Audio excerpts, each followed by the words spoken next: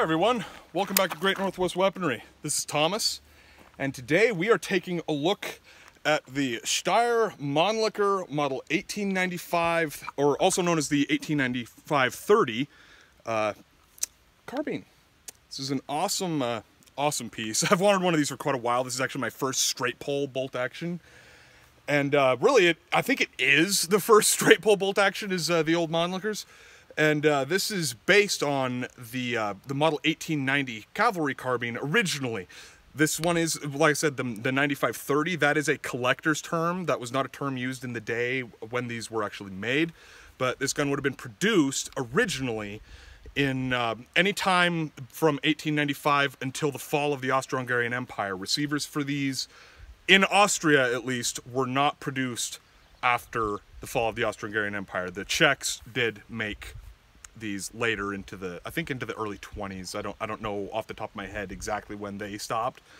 But long story short, Steyr, uh, the Budapest factory made these up until 1918 when the Austro-Hungarian Empire capitulated.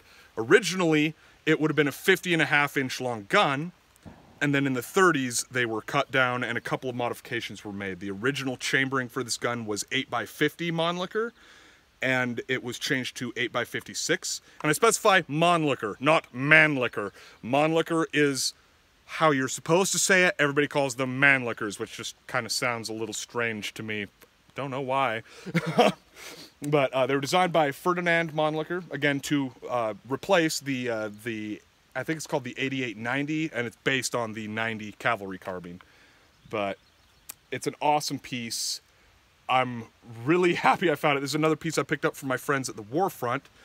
And uh, you notice this, this bolt, well, if I turn the safety off, it's quick if you work it. You have to really intend on what you're doing because it is fairly stiff and that we'll, we'll, go into markings a bit when we get this thing on the table but uh, there's some interesting things about the bolt on these they were all hand fitted and originally were not serial numbered serial numbers were added later but like I say, we'll get into that more when we go to the table.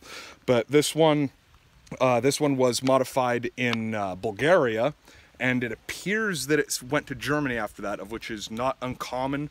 Most of these guns wound up in the hands of Nazi Germany uh, in the lead up to World War II and during World War II, uh, coming from, in the case of this one, Bulgaria, but then also Austria and Hungary and even uh, the, the old Czech ones.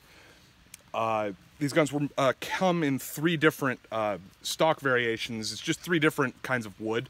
So originally they were made of walnut. That was the standard of the Austro-Hungarian Empire was walnut stocks. But by mid World War One, they started running out and had to switch to elm. This one appears to be elm.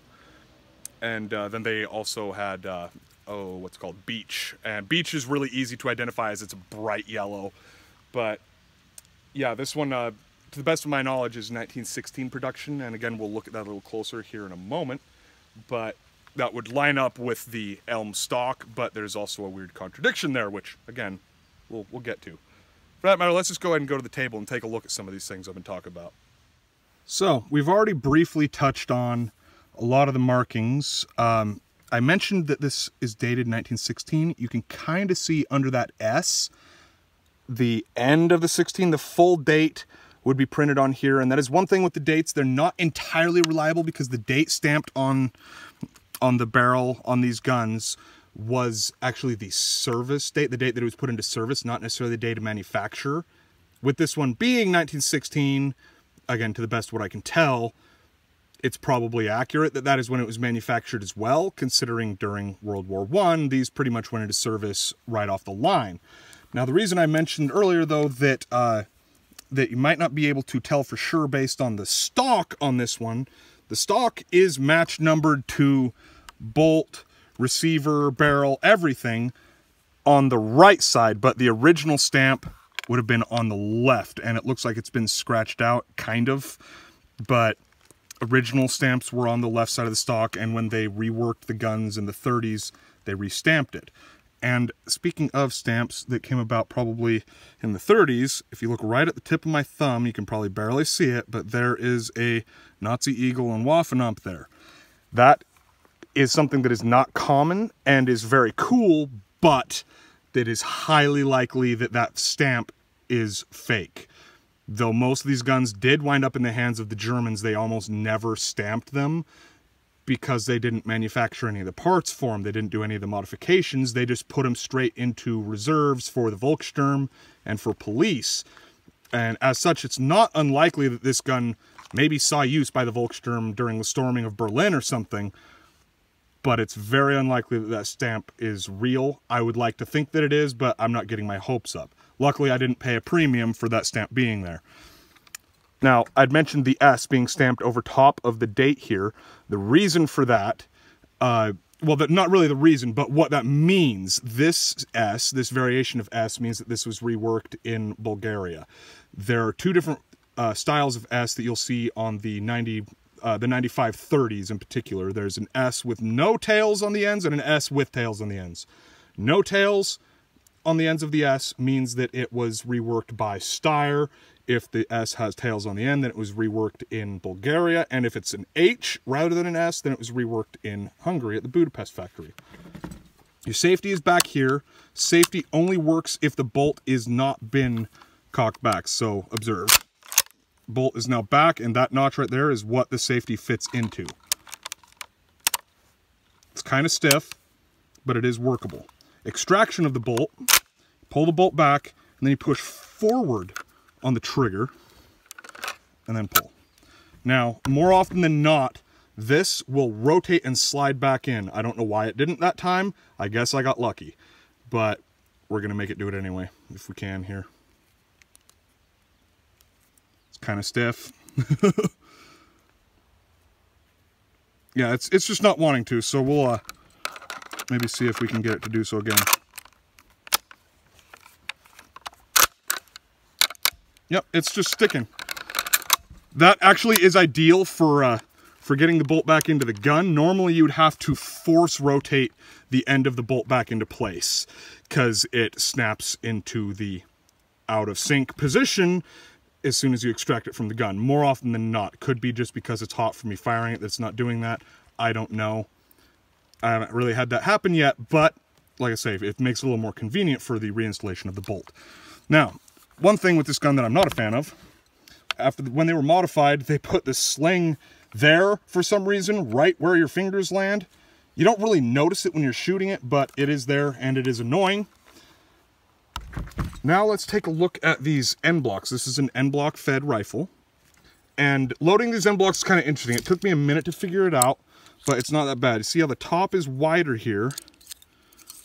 You go straight in at the top and just slide the bullets down. There are five round clips, internal magazine on the gun, and the magazine just falls out, or the clip just falls out the bottom when you're done shooting. And uh, yeah, it's very cool, very cool piece. I'm very happy with it. Let's go ahead and shoot it some more. Mannlicher, our prices have never been lower! I apologize. I had to channel my inner Dwight Schrute. Back to our regularly scheduled programming.